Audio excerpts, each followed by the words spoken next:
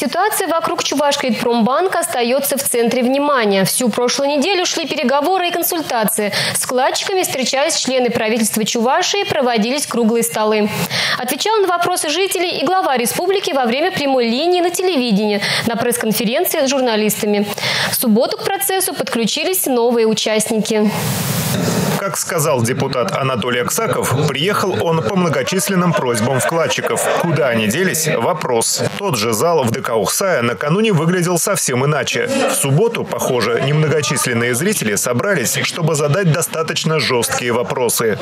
Ситуация с Чувашкредитпромбанком, она была не сегодня и не вчера, как видно из всех выступлений, а год назад. У меня вопрос, почему вы, Анатолий Геннадьевич, не помогли своим землякам раньше?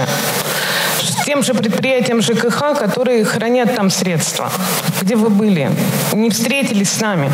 Э, по балансу активы превышают обязательства банка. Причем на приличную сумму, на 400 миллионов рублей. Поэтому, а все остальное э, я не могу знать, потому что есть законы, которые запрещают знать банковскую тайну и в нее влезать. Вообще, слово «почему» было самым употребляемым на этой встрече. Почему э, стоит, вопрос ставится так, либо банкротство, либо принудительная ликвидация. Почему вопрос не выставляется в том ракурсе, чтобы финансово оздоровить? Те деньги, которые свыше 1,4 миллиона, они, получается, заморожены.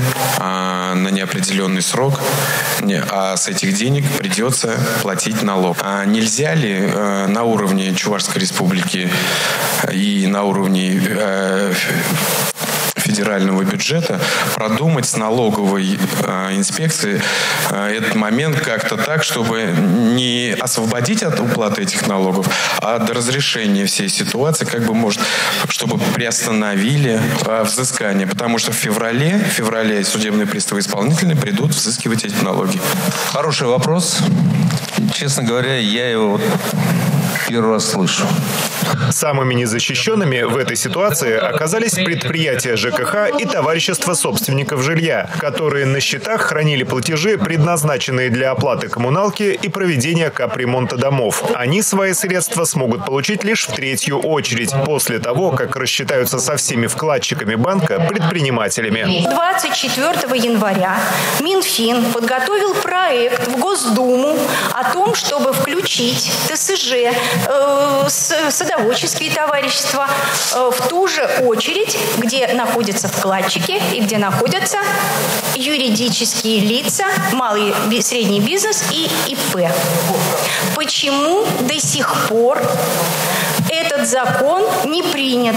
У меня вопрос. 24 э, там, или 21 июня какие-то движения были по этому законопроекту, и опять он отложен. В чем вопрос? Почему мы сейчас остались у разбитого корыта? Пока документ дойдет до голосования, много воды утечет в переносном и прямом смысле. Под удар поставлены простые жители нашего города вот, в области ЖКХ. Э, мы как снежные, эти проблемы накапливаются как снежный ком. То есть уже сегодня нам выставили требования предприятия э, ресурсоснабжающей организации, а платить нам нечем. У нас на счетах, то есть счета заблокированы. Единственный, кто предложил действующую на сегодня схему, был председатель правительства Иван Моторин. Есть сложность, да, у вас э, счета заблокированы, соответственно, если там собраны суммы, у вас есть сложности в текущих платежах, да, ну, по крайней мере, текущего месяца. Готовы с администрацией городов собраться, посмотреть, что можно там рассрочить как-то платеж, еще какие-то действия сделать. По, по этому направлению готовы отработать совместно с Министерством строительства и с администрациями городов. Ну, как я уже сказал, наиболее пострадавшие вот предприятия ЖКХ и управляющие компании ТСЖ.